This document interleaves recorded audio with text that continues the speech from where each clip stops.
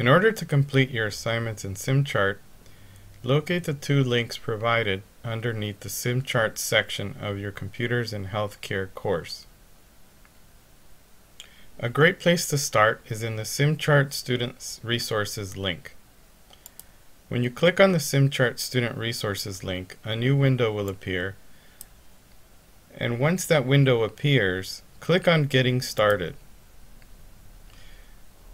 The links in here contain important guides that will help you learn the ins and outs of SimChart for the medical office, which simulates the same type of electronic health record computer systems that you will be using in the real world setting to complete assignments in a medical office or clinic environment.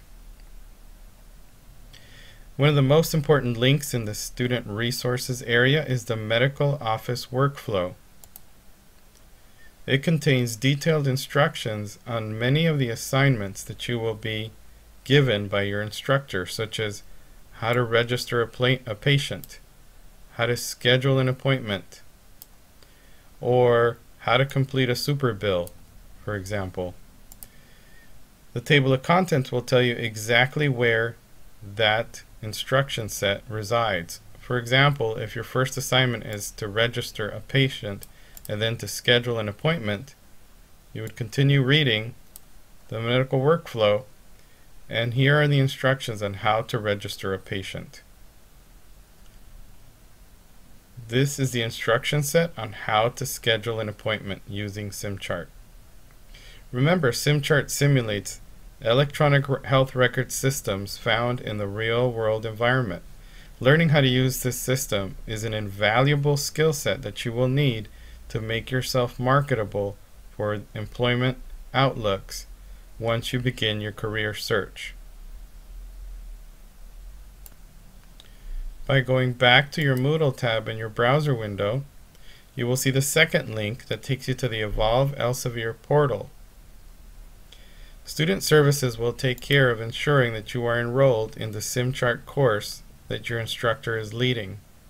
And inside of your Evolve resources, along with your PageBurst ebook library, you will find a link for SimChart for the medical office.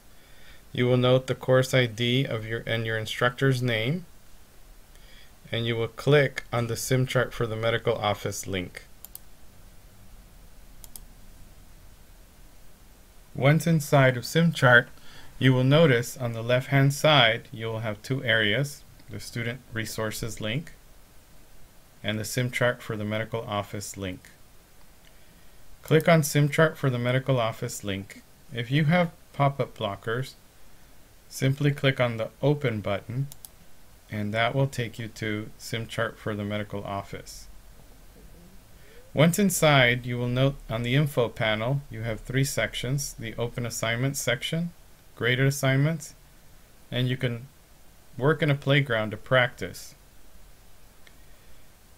In the assignment section, you have the assignments that your instructor has opened for you and information on how long it should take you to complete them and what their status is.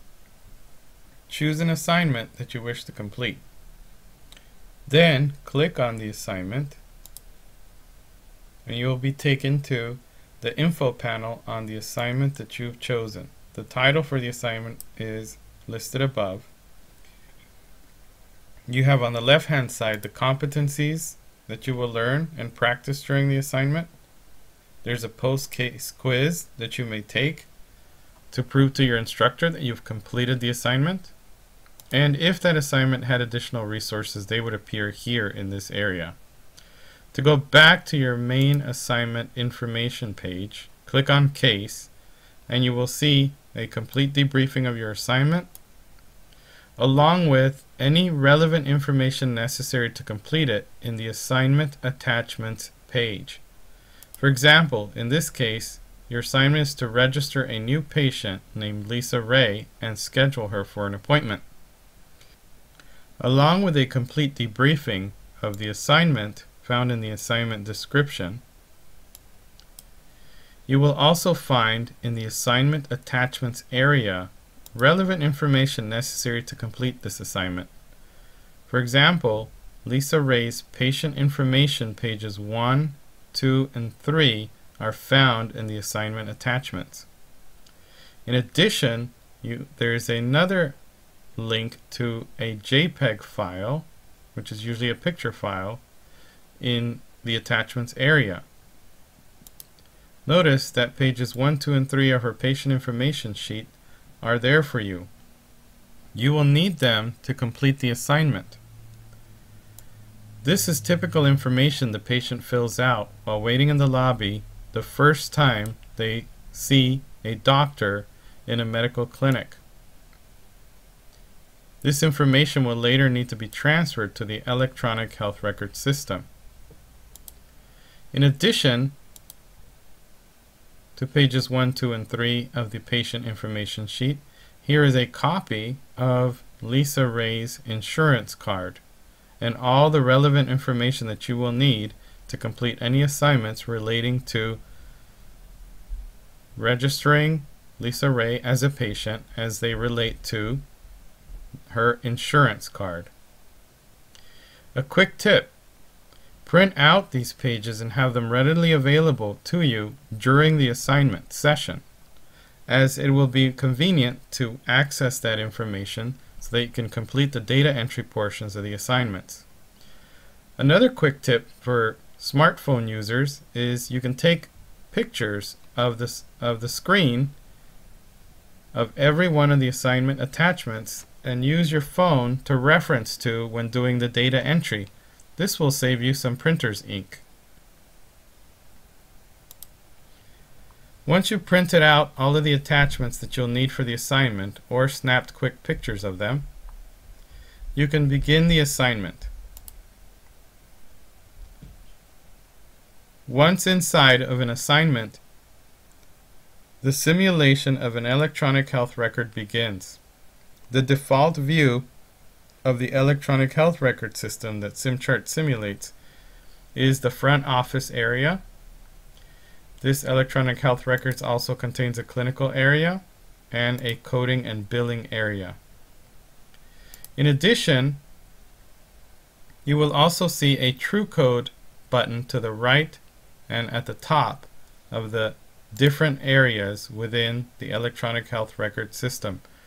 TrueCode is an encoder that helps you find codes for either diagnoses or procedures that are necessary in the coding and the medical billing that takes place in the clinic.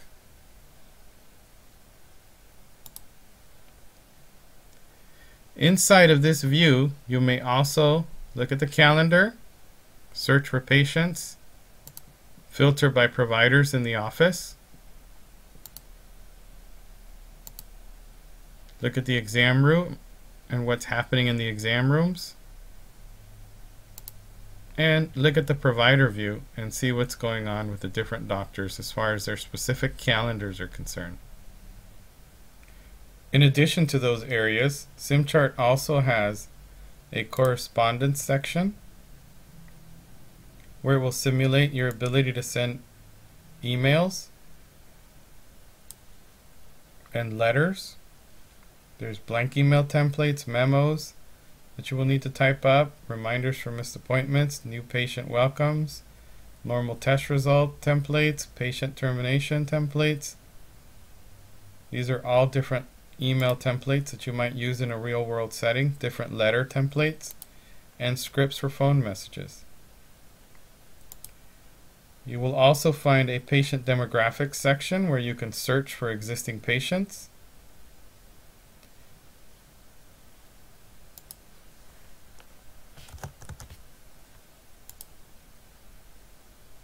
And if the patient does not exist, you will get a button for adding the patient. You will also be able to find patients by searching through existing patients. And you can look through the forms that the medical office uses in the forms repository. For example, this is an advanced directives form. And this is a general consent for a procedure.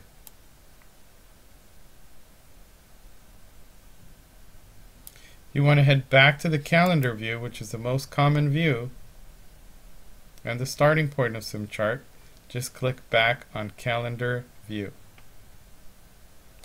This concludes the short video on an orientation to SimChart. Good luck on completing your assignments, and thank you for watching this video.